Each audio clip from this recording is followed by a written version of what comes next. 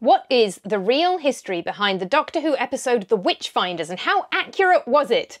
We're here to find out. Welcome to my channel. I'm Juliet. I'm a history lecturer at a British university, and I'm also, as you can probably tell, a huge Doctor Who fan. I know some of you watching might be new to Doctor Who, you might have just discovered it on Disney Plus. So I'm going to start by giving a very, very quick potted history of the show so I can explain where this episode falls within the history of Doctor Who in case you haven't seen it. If you are a Doctor Who fan and you already know all this stuff, then feel free to skip ahead to the next chapter. Doctor Who is the longest running science fiction show of all time. It started on the BBC in 1963, and there are three main phases to the show, and we've just started the third one, which is why the current season is called Season 1 on Disney+. The first phase of the show was the classic phase, which was 1963 to 1989, and featured the first to seventh Doctors.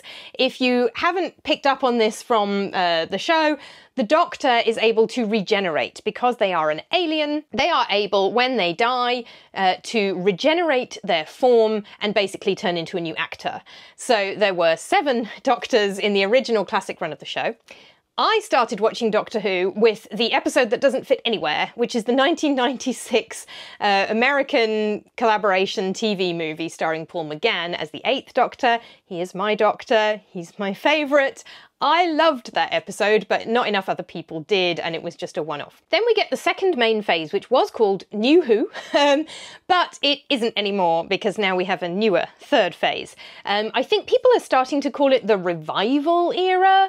Um, maybe we haven't really fixed on a name yet. This is the phase of the show that runs from 2005 to 2022. This features the 9th through 13th Doctors plus a couple of extras. Uh, there's a War Doctor who's suddenly revealed to have existed between 8 and 9. There's a Doctor that's just a hand that then turns into a Doctor human hybrid and that never gets included in the numbering. Um, and the 14th Doctor is played by the same actor as the 10th Doctor. This is the phase that this episode falls into. The Witchfinders is one of the later episodes of what I'm going to call the revival era. It features the 13th Doctor, who is played by Jodie Whittaker. There were three showrunners during the revival era Russell T Davies, who is now back again for the new, new era, Steven Moffat, and Chris Chibnall. Chris Chibnall only oversaw a fairly short period of time, although there was COVID in there, so it's a bit longer than the amount of episodes would suggest uh, with just one Doctor, the 13th Doctor. Jodie Whittaker was the first person to play the Doctor who was not a white man, so there are a few episodes that talk about that, and this is one of them, The Witchfinders. The Chibnall era, as it is known among fans, is not the most popular. Um, some of the storytelling choices were controversial. Some of the storytelling just wasn't as effective, shall we say. Some episodes just didn't quite work. Um, but I really love the 13th Doctor. I love the, the characterization of the 13th Doctor. I love Jodie Whittaker's performance. And of course, for me, as a white woman, the fact that the Doctor suddenly looked like me was awesome. This era did also introduce a, the fugitive Doctor, who is a very mysterious Doctor played by Jo Martin, who is a woman of colour. So it was really expanding um, the forms that the Doctor could take that weren't a white man. Um, Obviously, that has now continued into the current era where the Doctor is a person of colour. So I enjoy the Chibnall era and the 13th Doctor because I enjoy that version of the character. But the other thing that the Chibnall era did really, really well is historicals. So you've probably noticed if you've started watching the new season, there are basically three or four types of Doctor Who story. There's stories set on contemporary Earth, like the Christmas special that kicked off the new season and is Ncuti Gatwa's first episode as the 15th Doctor and Millie Gibson's first episode as Ruby Sunday. These are usually alien invasions of Earth, most often Cardiff pretending to be London. But the Doctor's time machine slash spaceship, the TARDIS, which stands for Time and Relative Dimensions in Space, is able to travel anywhere in time and space. It looks like a 1960s police box because it is supposed to have a chameleon circuit that will make it disguise itself as something that fits into its surroundings, but it's been broken since the pilot, which was set in contemporary London in 1963. Police boxes were already a bit old by then. They're basically phone boxes where you can go and call the police for no charge. So that's why they're blue instead of red, the traditional colour for a regular phone booth in the UK. And obviously, they're not around anymore for many obvious reasons. But it can travel anywhere in time and space. So the other types of Doctor Who episode are future episodes. Now, these could be on a spaceship or a space station, or they could be on an alien planet. And then there's historicals, uh, stories set at some point in Earth's history. The actual original purpose of the show back in the 60s was to teach children about science and about history. So the future set episodes are supposed to teach them about science, and the historicals are supposed to teach them about history. Nowadays, this will generally involve an alien invasion of some kind. Uh, the original historicals in the 60s were actually just stories set within that historical period period and didn't involve any science fiction apart from the TARDIS landing there. Um, but then they disappeared for quite a while. They were quite unpopular for a little while. And when they came back, uh, they always came accompanied by some kind of alien invasion of Earth. Doesn't have to be an invasion, an alien visitation to Earth or something. The Chibnall era did historicals really, really well. Whatever the problems are with the storytelling and whatever else is going on in the Chibnall era, the historicals in that era were brilliant. I love them. So if you want to dip into the Chibnall era, but you've heard it's not very good and you're not very sure, they're standalone stories, especially in the first season of the Chibnall era, which is where this episode comes from. Just watch the historicals. If you just watch the historicals, it is a brilliant era of Doctor Who. So this episode features Jodie Whittaker as the 13th Doctor, alongside her trio of companions who she referred to as the Fam, which not everybody liked, I have to say. Uh, Bradley Walsh as Graham, Tosin Cole as Ryan, who is Graham's step grandson, and Mandip Gill as Yaz. Brief recap of the episode if you haven't watched it recently, or indeed at all. The gang land near Pendle Hill in the early 17th century. This is in Lancashire, in the north of England, and they witness an old woman being ducked on a ducking stool as a test for witchcraft where the woman is ducked into the water, and if she sinks, she's innocent, and if she floats, she's guilty. The doctor tries to save the old woman but fails and she dies. The doctor then uses their psychic paper, um, something Russell T Davies introduced so that people would believe them and let them into places where it says whatever the doctor wants it to say or whatever the person expects it to say, and she claims to be the Witchfinder General. The landowner, Becca Savage, says that Satan is blighting the crops, bewitching animals, plaguing people with fits, sickness, and visions, and that there's a bunch of witches in league with him. Then the king turns up. This is King James I of England, who is also King James VI of Scotland. He assumes that Graham must be the head Witchfinder because Graham is a man and the Doctor is a woman, and this is one of the relatively early 13th Doctor episodes so this is really the first time the Doctor has encountered this type of sexism in kind of an Earth historical episode. Meanwhile, Yaz has gone off after Willa, the granddaughter of the old lady who was killed in the ducking stool, and Yaz sees a mud tendril appear while Willa does a ritual by her granny's grave. Willa reveals that her and Becca are actually cousins and that Becca married up and they were both raised by her granny, who made potions and teas and so on as a healer. The doctor then finds something alive in the mud which reanimates Granny's corpse along with several other people who've recently died. So they're basically zombies, um, but it's not really them, it's the, the mud aliens possessing their dead bodies. The mud creatures kill the king's bodyguard Alfonso, of whom he was very fond, and then Becca accuses the Doctor of witchcraft and says her sonic screwdriver is her wand. The sonic screwdriver is one of the Doctor's favourite tools. The current one doesn't look very much like a screwdriver, but previously to Ncuti Gatwa, um, the screwdriver had always looked like a screwdriver. I do actually have one. Hold on. I found it. this is my sonic screwdriver. The battery's gone. It did used to light up. Um, this is either the 12th or 13th Doctors, so it's either Peter Capaldi's or Jodie Whittaker's Doctor. We can't 100% remember. Um, but this is what the sonic screwdriver used to look like. Um, the design would vary from Doctor to Doctor, uh, but it was always, because it was supposed to be a screwdriver, albeit one that is somehow sonic, um, and it's gradually turned into something that can do all sorts of things.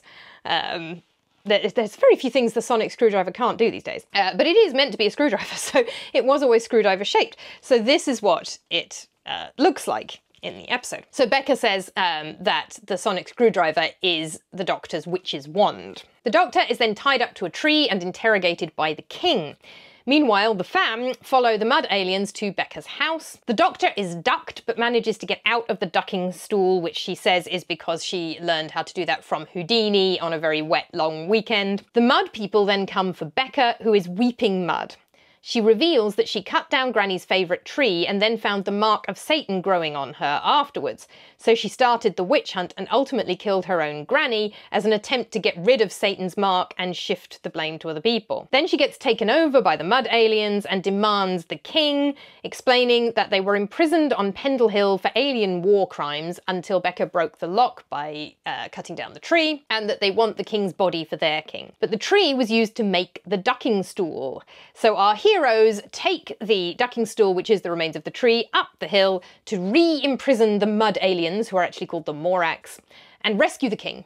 But the king unnecessarily kills Becca, who could have recovered her body. Um, she's the only one who wasn't already dead when they took over her body, and the aliens are getting imprisoned, so she would have been okay, but he kills her. Um, and the doctor is then deeply unimpressed uh, and leaves. And that's the end of the episode. So, what is the history behind this episode?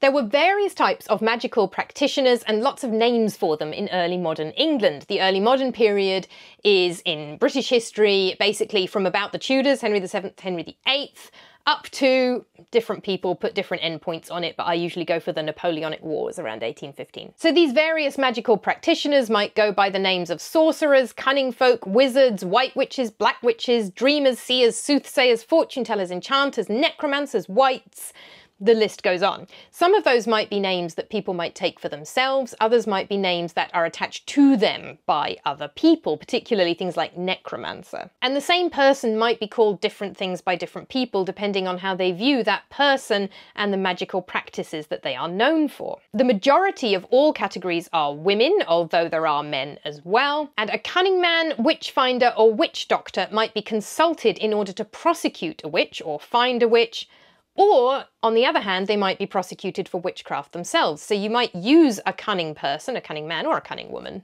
Again, more often a man on the witchfinder side. Um, you might use them to find or prosecute a witch, but they're equally vulnerable to being prosecuted for witchcraft themselves. Granny, in the episode, would come under this heading of cunning folk. She makes potions and teas, and they're intended to help people, and she's known in the village for doing that. Witchcraft trials were not as numerous in England as in some other places, but they did, of course, happen. Usually it was individual cases, two, three, one person uh, being accused of witchcraft and put on trial for it. Um, but there were two witch crazes. Uh, one of them in East Anglia a bit later in the 17th century, and one of them that is part of the inspiration for this episode. Parliament had passed a Witchcraft Act which defined witchcraft as a crime punishable by death in 1542. It was repealed five years later but restored again by a new act in 1562. A further law was passed in 1604 by the then new king, James I, new king of England, James I. He took a very keen interest in demonology, as we will see. The 1562 and 1604 acts transferred the trial of witches from the church to ordinary courts. So previous to 1562, witchcraft had been seen as very much a religious crime that it was up to the church to prosecute and deal with because it's essentially heresy, especially if it involves making pacts with the devil and things like that. But these laws of 1562 and 1604 transferred the prosecution of witchcraft as a crime to secular courts, not church courts. Witchcraft trials were usually held as part of assizes. This is part of the English justice system. They were periodic criminal courts hearing serious cases that carried the death penalty or life imprisonment and they were part of the English and then the UK justice system until 1972, although they weren't still prosecuting witchcraft in 1972. In this episode, first the Doctor and then Graham are referred to as the Witchfinder General. This is a nickname associated with Matthew Hopkins. He, together with his partner, was the instigator of the most notorious and most deathly witch hunt in English history, uh, which happened in East Anglia 1645 to 1647 and resulted in the deaths of over 100 people. Now, there were more witch trials in Scotland, um, but that was the biggest uh, and it is the most famous in England. We see throughout this episode James I and VI's very deep interest in witchcraft and demonology. James lived 1566 to 1625, and he was King James VI of Scotland from 1567, so from when he was one year old. At that time, England and Scotland were separate kingdoms, but because Elizabeth never married or had any heirs, James became the heir to the throne of England. So when Queen Elizabeth died, Queen Elizabeth I, obviously, uh, in 1603, James became James I of England. So he's James I and sixth, or sixth and first, um, because he is James VI of Scotland uh, separately from being James I of England, and he's King of Scotland for a lot longer as well. He quotes the motto of the Order of the Garter, which is Honi soit qui y pense. Um, evil to him who thinks evil of me. Uh, the Order of the Garter was founded by King Edward III in 1348 and is the most senior order of knights in the British honours system. James tells Ryan in the episode, My father died when I was a baby. He was murdered by my mother, who was imprisoned and beheaded. I was raised by regents. One was assassinated, one died in battle, another died in suspicious circumstances. There have been numerous attempts to kidnap me, kill me, or blow me up. It's a miracle I'm still alive. Uh, this is all true. Um, his mother was Mary, Queen of Scots, famously executed by Queen Elizabeth I after being imprisoned for many years um, under suspicion of plotting against Elizabeth with Catholics, um, because she was Catholic. And the most famous attempt to blow him up was the gunpowder plot of 1605, which uh, Guy Fawkes was involved in. Guy Fawkes was the one who was actually supposed to blow up the Houses of Parliament and got caught um, and which is still commemorated in England every year on Bonfire Night. Um, one of our weirdest traditions, uh, which I have talked about before and I will do a whole video on at some point. And the reason the episode brings all that up is that James was understandably paranoid. Um, it's that classic thing of it's not paranoia if they really are all out to get you. Um, so he was very afraid of conspiracy because there had been so many actual conspiracies and attempts on his life, as well as the murder slash executions of both his parents. He led one of the biggest witch hunts in Scottish history in 1590. He was afraid that a coven of witches led by the Earl of Bothwell were conspiring against him to prevent his fiancée, Princess Anne of Denmark, from getting to him and to murder him. There was another major Scottish witch hunt in the mid 1590s, and after that he wrote his famous treatise on witch hunting demonology in 1597. This was a response to skeptical witchcraft treatises written by Johann Weyer and Reginald Scot in 1563 and 1584, and the doctor finds a copy of the demonology in Becca's room. It is important to realise that not everybody believed in witchcraft or thought that witches should be prosecuted and executed or, you know, it wasn't a universal belief. There were treatises written that were skeptical of the very idea of witchcraft. There were people who said, this is silly, stop saying people are witches. It wasn't the case that everybody everywhere completely believed um, that people were witches and should be executed. And of course, there's the cunning folk who, in many times and places, in including through the early modern period, are doing their thing, making their potions um, and healing and so on and so forth, and just getting on with it. They aren't all being uh, prosecuted and executed as witches. And we already mentioned that in England, major witch hunts are relatively rare. And James himself was genuinely concerned to find witches. He did believe in witchcraft as a, a, thing, and he was afraid of witches. He was afraid of them conspiring against him and so on. But he didn't want to convict innocent people. He wasn't just kind of, oh, that person's a bit suspicious, they're a witch. He genuinely wanted to find witches who were actually dangerous, as he believed. Um, he wasn't kind of just going after people for no reason. In 1605, he referred the case of Anne Gunter's witchcraft accusations on to the Archbishop of Canterbury, and the accusation was eventually exposed as a fraud. He uncovered another fraudulent set of accusations in Leicester in 1616. His views also may have shifted slightly over time. The 1590s, uh, while he was King of Scotland but not England, was really the height of his fear, although he obviously continued his interest, um, because it's usually assumed that Shakespeare wrote Macbeth partly to appeal to the new king, which obviously prominently features witches and witchcraft. We see at the very opening of the episode and throughout, and it's key to the conclusion, the ducking stool. This was a leftover from the medieval ordeal. This was part of medieval English law, where an accused person who would not confess and could not be proved guilty could undergo an ordeal to get God to prove their innocence. So the idea of either innocent until proven guilty or the need for conviction beyond reasonable doubt, those don't exist as legal principles yet. Somebody can confess, they can be proved to be guilty with eyewitnesses, or they can undergo an ordeal to get God to prove their innocence. So these are things like carrying a hot iron a certain distance and showing after the hand was bandaged for a few days that God had miraculously healed their flesh, or putting their arm into hot water and similarly revealing a healed limb after bandaging, or they might be thrown into a body of cold water and they're innocent if they sink to the bottom. That's obviously a major part of the origin for the ducking stool. Or they might be asked to swallow something in one gulp without choking. Uh, another option was for them or their chosen champion to fight a duel to prove their innocence, which obviously a lot of people are familiar with from Game of Thrones. By the 16th century, eyewitness proof or a confession was required to find somebody guilty. So that reduced the use of ordeals but led to a rise in torture because one of the only ways to prove someone guilty was to get them to confess. Now, obviously, we know that torture does not get the truth out of people. it just gets them to lie and say whatever you want to hear to make the torture stop. Um, but in the early modern period, they didn't know that, and they saw torture as a way to get a confession out of somebody um, if they couldn't prove it with eyewitnesses. But they did also still use the ducking stool in some cases to test for witchcraft.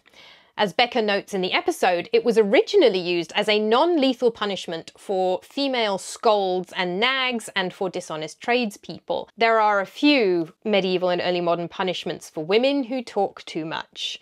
Um, one of those depressing areas of history. Here are some of the punishments that might be inflicted on scolds or nags, and the ducking stool was another. It wasn't intended to be lethal, it was intended to be humiliating. You duck them and then you lift them up again out of the water. But when used as a test for witchcraft, Obviously, it could be quite dangerous if you're leaving them under the water too long trying to see if they're going to sink or float. Not everybody approved of the ducking stool. Burgundian Henri Boguet noted that some people use it to test witches and said, I doubt whether this practice does not serve rather to tempt God than to prove anything against the witch who is ducked. For Satan may let a guilty one sink to the bottom or an innocent one float on the water so that he may cause an innocent man to be put to death wrongfully and so protect the guilty. So not everybody approved of it, but James VI and First was a fan. In Demonology, he said, there are two other good helps that may be used for their trial. The one is the finding of their mark, the other is their floating on the water. So it appears that God hath appointed for a supernatural sign of the monstrous impiety of the witches, that the water shall refuse to receive them in her bosom that have shaken off them the sacred water of baptism and wilfully refused the benefit thereof. So, because they have refused their sacred baptism by turning to the devil, uh, water will not accept them. Not so much as their eyes are able to shed tears, threaten and torture them as you please, while first they repent, God not permitting them to dissemble their obstinacy in so horrible a crime albeit that womankind especially be able other ways to shed tears at every light occasion when they will, yea, although it were dissemblingly like the crocodiles. So you can tell from that that both his fondness for the ducking stool and his sexism are entirely historically accurate as depicted in the episode. James I and VI both had some opinions about women um, and uh, thought the ducking stool was a good test for witches. The other one he mentioned was the witch's mark, and this comes up in the episode as well. Um, the depiction of this one is not quite accurate to what he says in the demonology. In the episode, he has this thing that he's going to prick the mark with, and he says, A true witch will not bleed if her mark is pricked. Uh, that isn't quite what he says in the demonology. Um, in the demonology, he says that the witch's mark is insensible, which implies that it's numb. So, not so much that it won't bleed, but that the witch won't feel it if you prick it. So obviously, if somebody has a numb area on their body for whatever reason, then they are liable to fail that test. But the idea that when a witch made a pact with the devil, he would put his mark on some hidden part of their body was common in the period and is something that James suggests as a way to test for a witch. Now, I said them. Um, witches could be male or female. The vast majority of people who were accused of witchcraft and executed for it were female, but there were male witches who were accused and executed as well. And there were also male magical practitioners of various kinds. James mentions one in the episode. He says, like Dr. Dee, a necromancer. John Dee lived 1527 to 1609 and had a reputation as a conjurer or magician. He was a fellow of Trinity College, Cambridge, and a royal advisor first in England and then on the continent. He was interested in alchemy, astrology, angels, and the philosopher's stone. And note the name philosopher, not sorcerer's stone, which is what the American publishers of Harry Potter decided to rename it. But it's a philosopher's stone. People who were trying to find the philosopher's stone or work out how to make one were interested in wisdom. Philosophy literally means love of wisdom, from the Greek philos and sophos, uh, love and wisdom. Philosophers were trying to learn about the world around them. just like the ancient Greek philosophers who were their forebears. The philosopher's stone was trying to learn about the world around them and create something that would turn lead into gold or give you eternal youth, because that would be handy. It was all wrapped up with magical practices, and of course, we would generally consider alchemy and trying to create philosopher's stones and so on to be part of magical practice. Um, but it had nothing to do with deals with the devil, with that type of illegal heretical witchcraft. It's something else entirely. John Dee did try to talk to spirits and angels, and that's probably where this line about him being a necromancer comes from. So, not a necromancer in the sense of raising corpses like the mud aliens do in the episode, but a necromancer in the sense of uh, what would later be being a medium, um, trying to talk to spirits uh, and angels. So, I've mentioned once or twice that there are two major witch hunts in English history, and one of them was the one in East Anglia led by Matthew Hopkins. The other one is a big part of the inspiration for this episode. The characters in the episode are fictional, so Willa and Becca and Granny, they're all completely fictional characters. But the story is inspired by a real witch hunt that happened in the area at that time. This is known as the case of the Pendle Witches or the Lancashire Witches and it is apparently quite well known, and the area has at least at one point been quite touristy.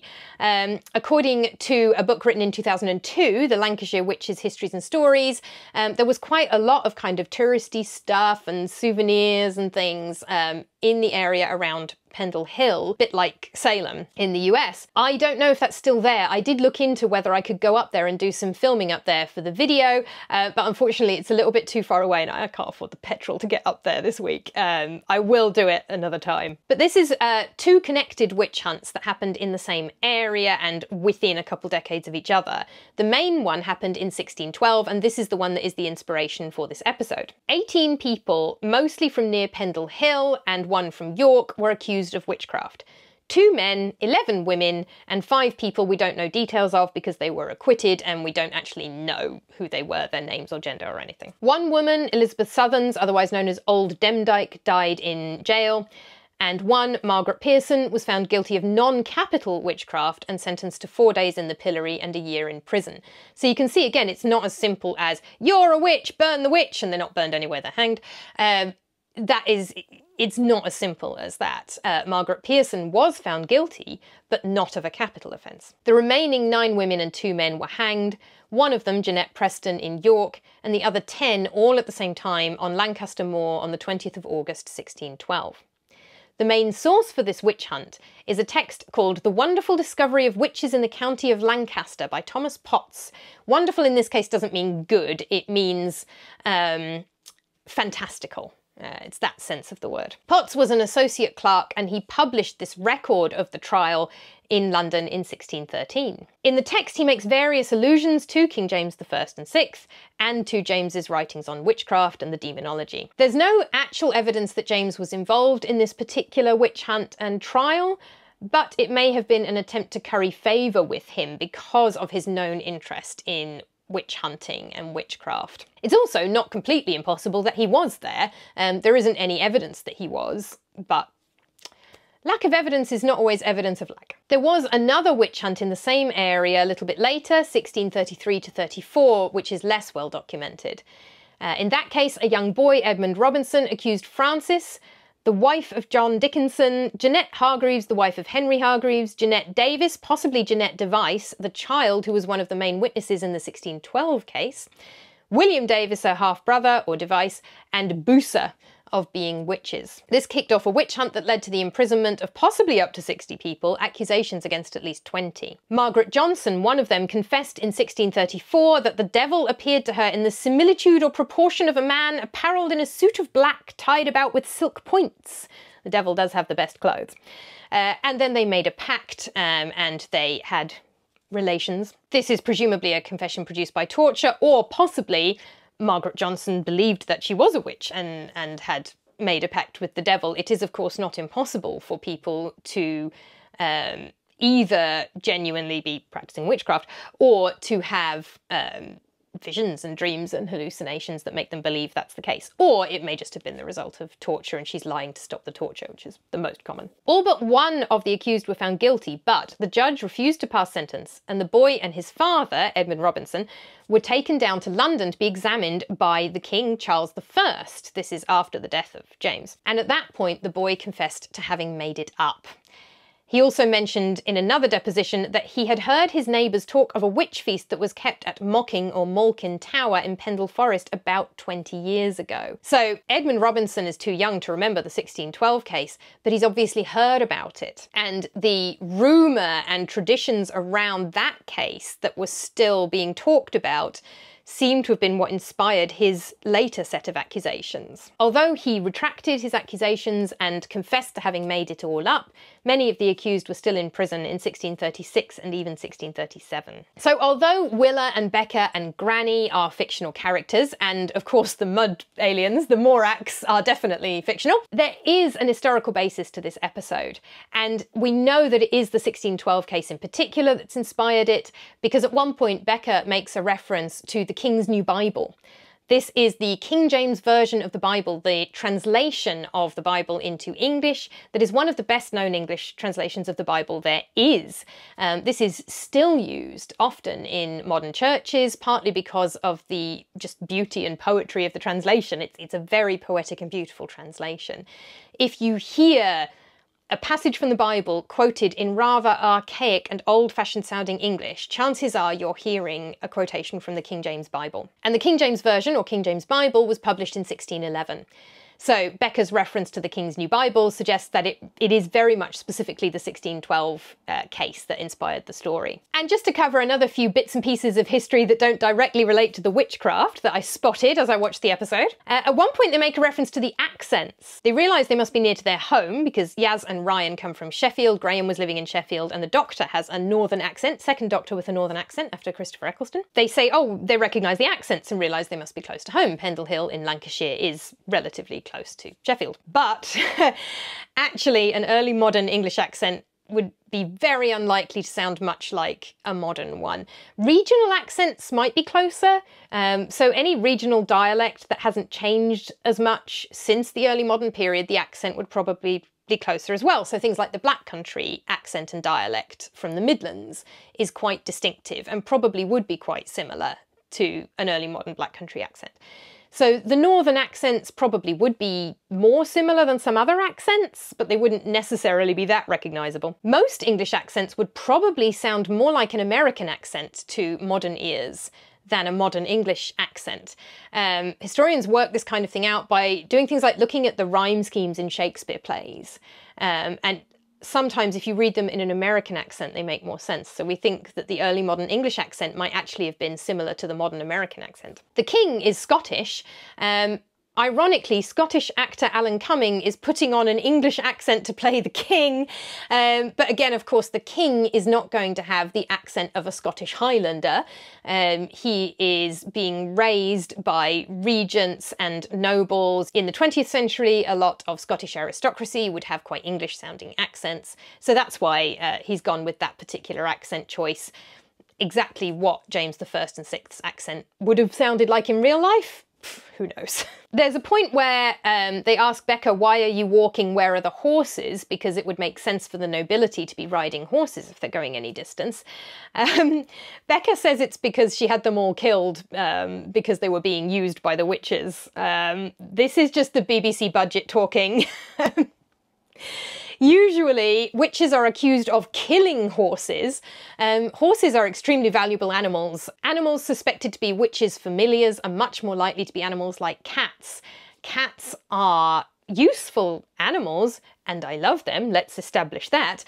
Um, but um, cats are less economically valuable animals. So you're much more likely to accuse a cat of being a witch's familiar and kill it, and there is a fairly well-known stereotype of cats as witches' familiars. They're not the only animal that might be thought of as a familiar, but one of the most common. A horse, that is a valuable animal. You're very unlikely to decide that's a witch's familiar and kill it. Um, much more likely to accuse a witch of killing your horse. So Becca claiming that she killed all the horses is just the BBC budget talking um, because they don't have the budget for horses. We also see King James flirting shamelessly with Ryan, who he takes quite a shine to. James had intense romantic relationships with men. He did consider a specific illegal homosexual act, which I am not going to name, but a specific male homosexual act was illegal, and James thought that was as bad a crime as witchcraft or murder. But he did have these very, very intense and quite romantic relationships with men. And it's the kind of thinking that you see in the past. It's not the way we think now. But people in the past would sometimes separate the physical from the emotional and the mental. And even now, you know, there's a difference between somebody's uh, romantic orientation and their sexual orientation. So James disapproved of certain physical homosexual acts, but he had these very intense relationships with men. So you can't really put modern labels on people in the past. They just think so differently about this kind of thing. Um, but if we wanted to try and put a modern label on him, we could say he was kind of romantically homosexual. To depict him as having romantic interest in men is entirely historically accurate, despite his opinion on certain sex acts. And finally, the internet thinks bobbing for apples was brought to Britain by the Romans. We see people bobbing for apples not at Halloween at the beginning. I am a Roman specialist. I have never come across anything talking about the Romans bringing bobbing for apples to Britain. Um, and I have yet to see a single citation of an actual Roman primary source for this information, but that doesn't mean it's not true. So if you know of one, if anybody knows a primary source that implies the Romans brought bobbing for apples to Britain, then please put it in the comments and let me know. I'd be fascinated to find out. Thank you so much for watching. If you enjoyed this video, please do give it a like and subscribe to my channel for myth, legend, folklore, witchcraft, ghost stories, and weird and wonderful history in general. Until next time, bye! High five! High five!